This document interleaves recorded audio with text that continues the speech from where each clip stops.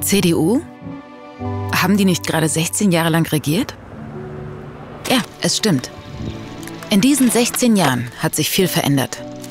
Die Welt um uns herum hat sich verändert. Unser Land hat sich verändert. Und wenn man in Regierungsverantwortung ist, dann ist man verantwortlich. Für das, was gelungen ist. Und für alles andere auch.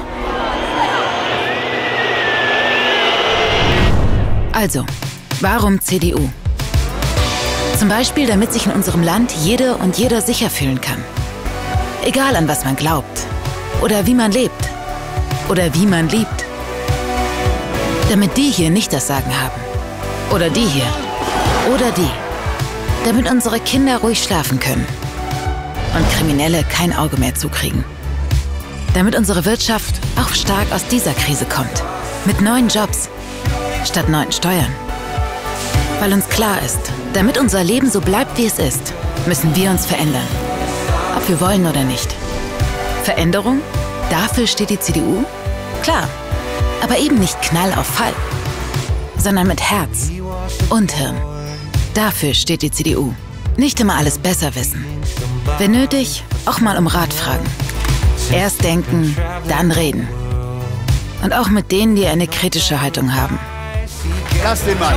Ja, ja. Ja, gerade mit denen. Nächstenliebe zeigen. Auch wenn das altmodisch klingt. Heute sehen wir uns die CDU an. Zerstört werden.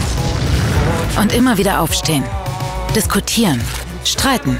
Und nie vergessen, dass uns mehr verbindet, als uns trennt. Viel mehr. Die Einheit unserer Nation. Ja, und da sind wir wieder am Anfang. Warum CDU?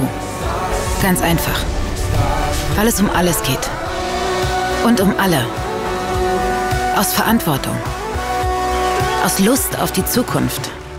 Ja, das ist es eigentlich.